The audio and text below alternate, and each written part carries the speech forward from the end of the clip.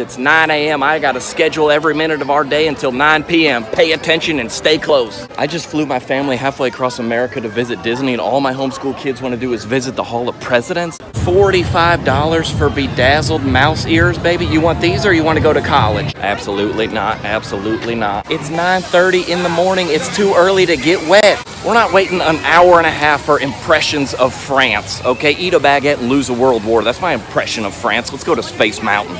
No, I'm not gonna push him in a stroller, okay? He's four. No, that's not right. The Splash Mountain is this way. No, you cannot have goofy shaped chicken nuggets. Sit down. Your mother brought ham sandwiches. Oh, for heaven's sakes, pick up your garbage and throw it away. This isn't Six Flags. Listen, Rebecca, she's not coming out today, okay? That dream to meet Elsa, you better let it go. Oh, you wanna go to a small world all by yourself, huh? Well, it's gonna turn into a pretty big world when you come outside and can't find your parents. Oh, great. Now my wife wants a photo with Gaston. Perfect. Well, hurry up. Make believe your feet aren't sore. This is Disney. Use your imagination. See these locks right here, kids? That's what happens when you disobey your parents. You know what I want to ride? A park bench in the shade. A four hour wait for Toy Story? That line is to infinity and beyond. Well, is it air conditioned? If not, I don't want to go. If you don't get back here by the count of three, I will spank you into Tomorrowland.